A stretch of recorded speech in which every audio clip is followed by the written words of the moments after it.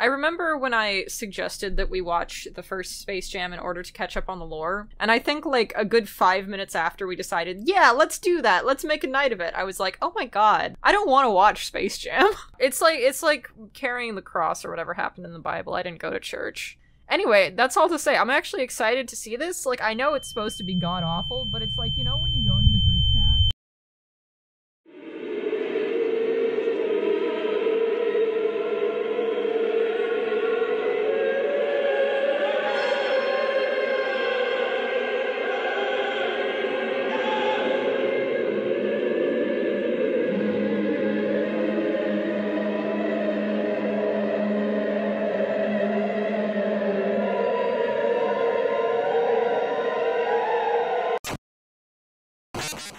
Okay, first and foremost, welcome everyone.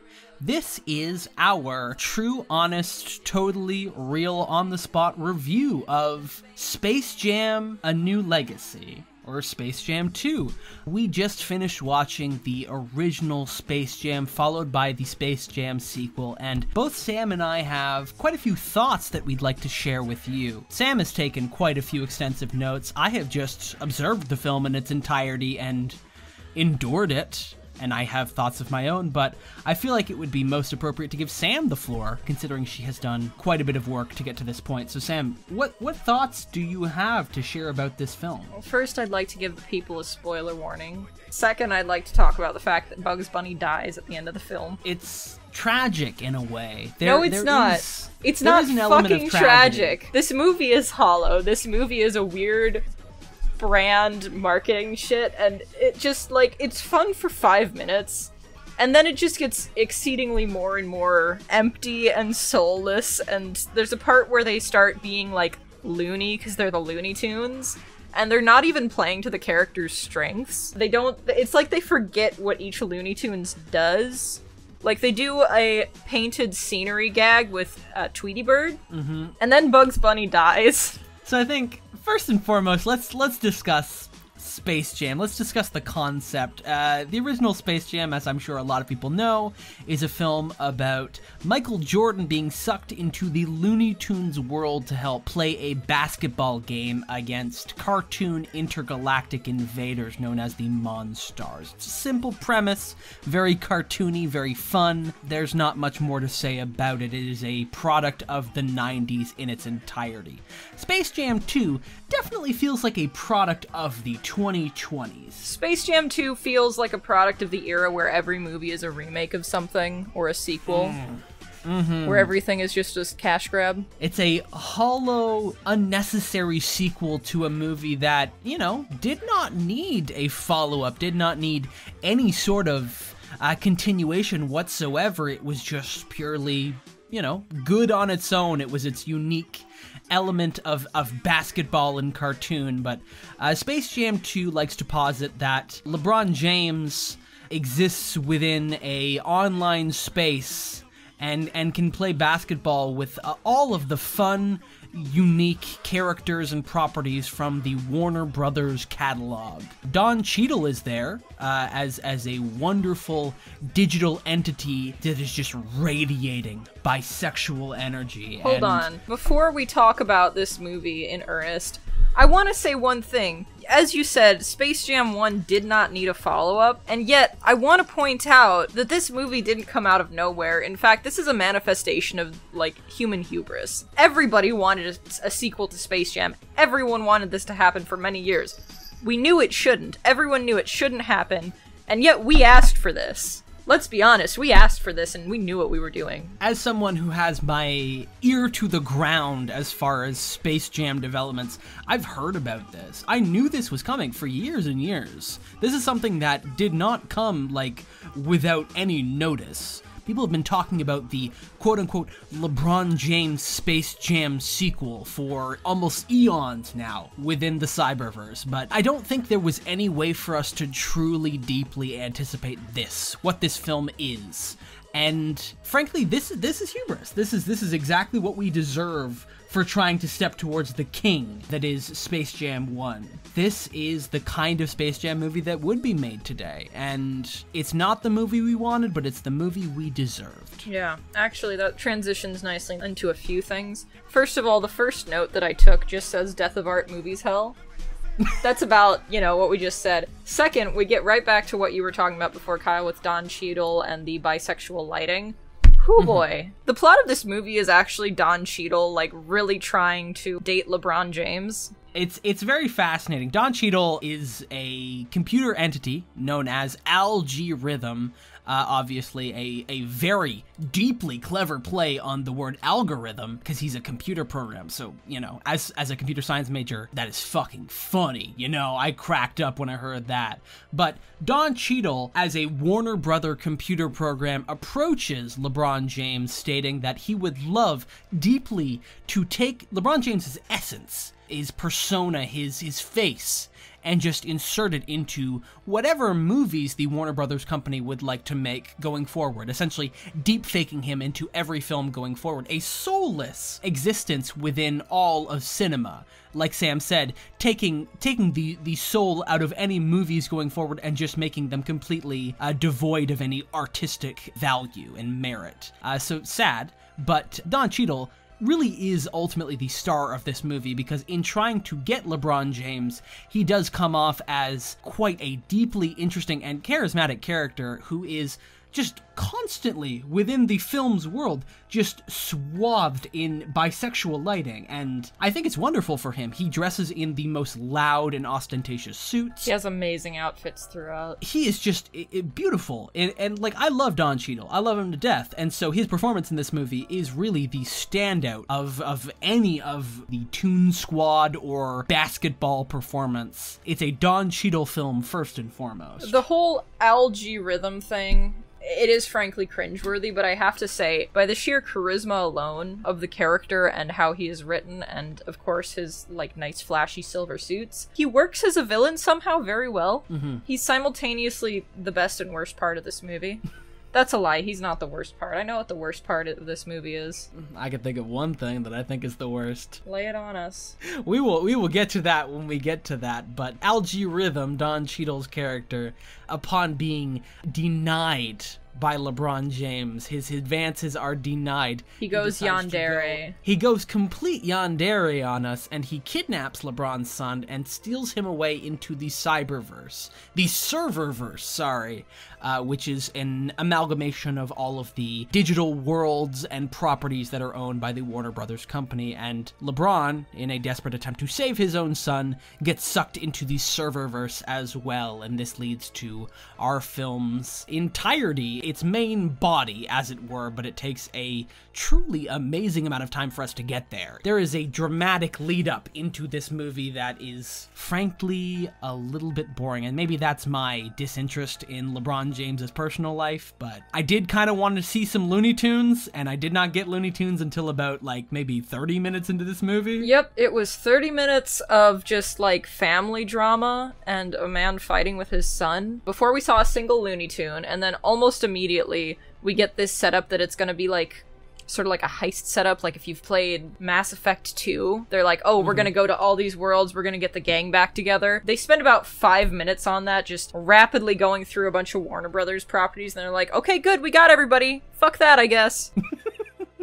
it's it's it's a surprisingly on point comparison because what is this not if if if not getting the gang back together after pretty much a death of the franchise? We need to uh, recruit everyone else, and of course we start out with Bugs Bunny, star of the show, who has been abandoned by all of his former friends, all of his former allies in the Looney Tunes verse. It is no longer a united front like it was in Space Jam One, and we just kind of pop across all of these other Warner Brother worlds to reunite the gang as it were. And this i think is is the heart of the movie. This is the point in the film that i think has the most soul as it were because this is the majority of the film that is carried by 2d animation. And as someone who deeply appreciates animation as a medium i truly do think that the 2d animation in this movie is the standout. And i know that space jam a new legacy has an unfortunate reputation for not crediting its 2d animators. There's a little bit of quote unquote drama It's more just them treating the animators as almost second class citizens. It's unfortunate there is a, a severe lack of crediting of these these animators in their work, and I don't know. It, it was a sad story to hear because this is the part of the movie that I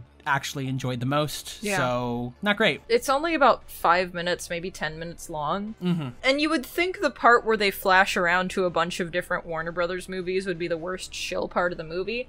It's not. We'll get to that. It's like actually kind of fun if you turn your brain off and you don't think about the capitalist rot that it all represents. Absolutely. Um, there is there is legitimately like standout wonderful moments in that sequence there. I think a lot of people pointed it out, but like, you know, the little little Matrix scene is is actually legitimately enjoyable in some sense. I I, I think like all of these little tie-ins, all of these like these 2D uh, Looney Tunes characters being inserted into some more recent films, some more classic. You know, there's there's artistry there, and I think that the the homage done is fun. And then it very abruptly ends. And not long after, the 2D characters are made 3D and they all look like Detective Pikachu but without any of the charm. Mm-hmm, It doesn't look good. Like we've seen nice stylized 3D. It's like okay, it's not a it's not a Disney live action for God's sake, but it's just slightly bad. That's a, I think the best way you could describe it. Like the animal characters,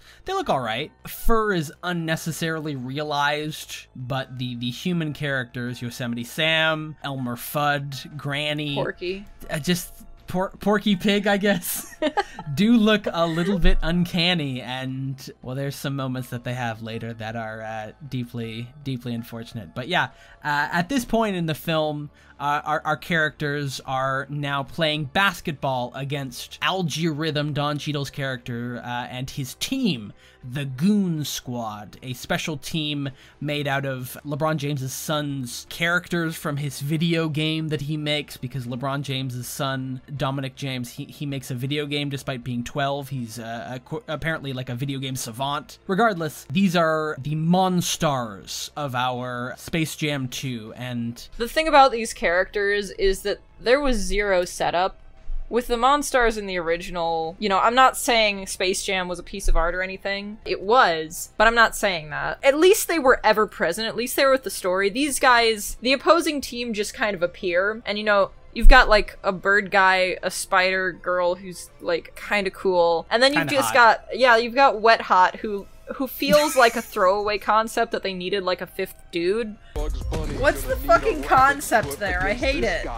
Wet and hot. Oh, sorry, he's wet fire. And he's fire. There you go. That's, that's kind of brilliant. Don't pat yourself on the back like that. That's a basic terrible concept. I hate it. But they I'm didn't sorry, know me, what to do. Let me correct you there. That is that is wet fire that you're talking about. I, I really do hope that you are not disrespecting my man, Wet Fire. no, best character in the movie, of course. he is the Um, strongest character. So now let's get to some plot again and something that's very important because it's also one of the worst parts of the movie. There are many. The basketball match starts and suddenly they warp everybody who's watching in through their phones. And so this is two things at once. First of all, you know, they set up this thing where if the tunes lo- lose, everybody has to stay forever. So we have Sword Art Online, and then the other half of the crowd that's not real people who are stuck in the game is made up of every single Warner Bros. characters they could shoehorn in there. And it's really just Ready Player One again, in the amount of just like, hey, did you see your favorite character in the background? Hey, look, here's the Iron Giant. Remember the Iron Giant? I remember the Iron Giant. I Um, saw him in the movie. Yeah, we saw him in Ready Player One. It's it's terrible. This is the part. This marks the point in the movie where just everything is terrible. we had a discussion as we were watching. It was like we we could see merit and value in the film, and as soon as everything just started becoming shoehorned in, as soon as there's there's literally a, a full sequence of just different properties and different characters rushing onto the scene, and we just kind of went, "Oh, this movie's about to get bad, isn't it?" And then it and did. it did. Kyle, which one of us is going to talk about Chronos? Look, it's the New Iron Giant. character Don't you love the Iron Giant? Remember the Iron Giant from the movie, The Iron Giant? what? What does this mean? They didn't set this up. Listen, I love time. Don't get it don't get it twisted. I love time travel, but They're just doing the fucking Days of Future Past thing. I was about to say resumed. So, the Goon Squad, built up of all of our favorite characters, including especially Wetfire, my man, they are, you know, just some some stupid one-dimensional characters that exist to play basketball in a, a, a CG 3D space, and that's fun. Uh, it's not. It's it's really just 3D nonsense, but no character within this film uh, truly embodies the lack of heart and soul in the Goon Squad as much as Chronos.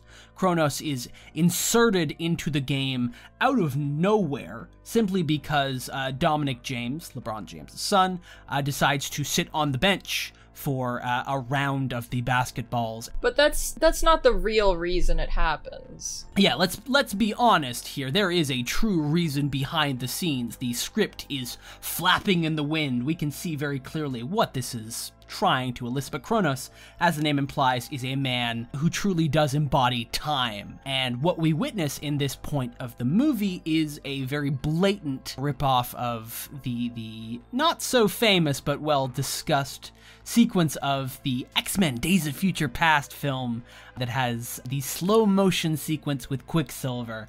Uh, Chronos decides to slow down time and does a bunch of funny business. Fools. He does quite a bit of funny business. I, I think that it is it is completely natural for us to say that Chronos here is the looniest character in the bin. Bad. Uh, yeah, he he stops time. He does a bunch of dumb bullshit, and then he shoots the basketballs and it's it's just not entertaining. It's just it's sad. I think sad is a good adjective for it. There's nothing there for me to enjoy. I love time. Don't get me wrong. I fucking love time. But yeah, Chronos is not interesting to me. He's he's just he just shows up out of nowhere because the plot demands it, and then performs a bunch of uh, crazy, wild, funny business because it would be interesting, I guess, on screen, and that embodies what the entirety of this section of the movie is. Is just contrived visual gags and advancements of the plot there's no heart, there's no soul. It's just the Goon Squad plays and then the Toon Squad learns. Like I said before, even when they start being loony so they can win, the bits just don't even make sense. They're not even playing to the character's strengths. There mm-hmm. is one part, there's one joke that works, and it's Wiley Coyote using an Acme machine and then falling prey to it. Hey, that's a classic Looney Tunes joke. That's the setup. That's how you execute it. Everything mm-hmm. else just makes no sense. There's a part where like the big red guy absorbs someone into his finger. Oh, that's not just someone. That's my man Wetfire. Yeah, that's Wetfire. okay, let's let's get let's power through to the end of this. So the Toon Squad prevails. LeBron James manages to learn that fun is an integral part of basketball and that maybe he shouldn't be so domineering towards his son's interests. He manages to get his son back on his side, and Al-G Rhythm becomes a member of the Goon Squad, and the two forces face off in what is ultimately a battle for the true fate of all souls here in the basketball game. There's so much flirting. Unsurprisingly, the, the Toon Squad prevails but not not without a cost, not without a deep true sacrifice. What happens? Bugs Bunny fucking dies. Someone has to die. This movie cannot be created without a blood sacrifice. And Bugs Bunny, the true, honest, beautiful creature, he sacrifices himself for the sake of this film. It's it's sad. I shed tears and I I just Buddy, I, you were on your phone at the time. You weren't crying. I just sorry, just gonna give me a moment. Bugs Bunny doesn't actually die. They do a very good fake out, and like honestly, I was kind of excited because how amazing would that be if Bugs Bunny had died and then stayed dead? This film would have gone up like a full letter grade. Yeah, it actually it would be kind of amazing if they'd actually gone with it. And for a hot second, you think they are, and then it's just like, no, Bugs is in the real world now, which I guess sure. But I want to live in that world where Bugs Bunny just died at the end of this movie. You just hate Bugs Bunny so much. No, I You're love Bugs, Bugs Bunny. Bunny I just think that's the ballsiest thing this movie could have done. It would have been deeply impressive. But yeah, so Bugs Bunny sacrifices himself, but ultimately it's an empty sacrifice because he becomes realized. He becomes a a, a figure in the real world. He gets to walk around with LeBron James. He stops LeBron and his wife from having sexual intercourse. It's beautiful. And then the movie cuts to credits and it's it's just empty. The whole thing is devoid of, of meaning, purpose, soul, heart. It's just kind of shallow. It happened because people wanted it to happen and Warner Bros. could make money from it and put some product placement in there. It really is the culmination of hubris. Mm-hmm. And I'm glad I watched it. I think we're better because we've seen it now, but I also wish I could have that time back. It's kind of like when you confront your shadow in the Persona series. This is this is I think that's quite apt actually. We faced our shadow and his name was Al-G Rhythm, uh, and he did try to fuck us, but He tried to fuck you my know dad. couldn't steal my son. That so out. do we want to rate this movie? Uh, yeah, let's rate it on a negative scale though, and everybody just has to interpret what it means to get whatever negative number out of negative 10. All right, I would rate this movie in a in a negative context. Uh, I will rate Space Jam: A New Legacy. I'm gonna say a negative eight. That's wild. I was actually gonna give it a negative 8 too. Really? Yes. Synchronicity. I love to see it. Negative 8. Destined. Negative 8 feels like an appropriate rating. It looks like two basketballs placed on top of each other. It's appropriate. So, if you can, Don't maybe- watch Space maybe Jam too. Just avoid watching it. Like you don't have to. It's it, we're in a we're still in a pandemic, guys. So maybe don't go out to a theaters if you don't have to. It's on HBO Max, I think. So don't don't bother with it. You don't have to spend money on this movie. I want to issue a statement to everyone listening to this right now. There's nothing you're going to get out of this movie that you haven't got right here. You know what happens. You're You not going to enjoy it. You already know what happens. You will probably get more enjoyment from hearing two people talk shit about it than actually watching it. So really, you've you've kind of hit the peak. Final final note here that I have that we never got to is just uh Serial Experiments Lain. That's all. I haven't watched it, but it sounds on point. There'll be like 5 people in the audience who will see that and be like, "Hey, and uh this one's for you guys." So go out there, perform a chaos dunk before the great b-ball plague.